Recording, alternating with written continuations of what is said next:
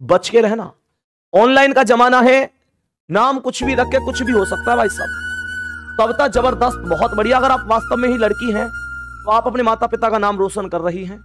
मैं आपको बताना चाहूँगा, लड़कियों के लिए तो खास तौर से कहना चाहूँगा कि उन लड़कियों के लिए कहना चाहूँगा, गुड़िया, एक बात ध्यान रखना।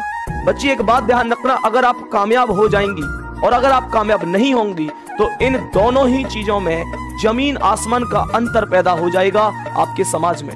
क्या आपको पता है कि अगर आपसे, मैं लड़कियों से खास बात से खास तौर पर लड़कियों से कह रहा हूँ, अगर गुड़िया, आप कल को कामयाब हो जाती हैं तो यकीन मानना, आपके पड़ोस में, आपके समाज में आज जो छोटी बच्चियाँ हैं, आठवीं और नौवीं क्लास में हैं, कल को वो भी आपसे कहीं ना कहीं मोटिवेट होंगी और वो भी कहीं ना कहीं आप जैसा बनना चाहेंगी।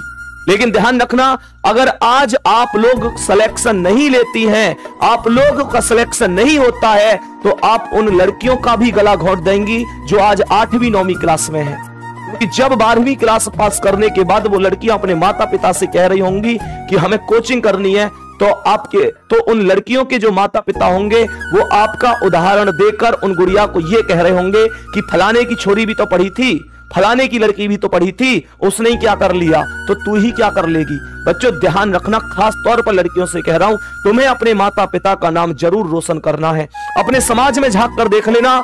गुड़िया से कह रहा हूँ मैं, अपने समाज में, ये इस समाज की कड़वी सच्चाई है। कड़वी सच्चाई है कि लड़कों को सब पढ़ाना चाहते हैं, लेकिन लड़कियों को केवल वो पढ़ाते हैं जो बहुत बड़े दिल के माता पिता होते हैं, बहुत बड़े दिल वाले माता पिता होते हैं। क्योंकि क्योंकि गुड़िया, एक बार समाज में झाँक कर देखना अपने चारों तरफ़, अपने पड़ोस में ये देखना, क्या हमारे पड़ोस की हर एक लड़की कोचिंग कर रही है। मैं कह रहा हूँ, आपके पड़ोस की हर एक लड़की कोचिंग नहीं कर रही होगी।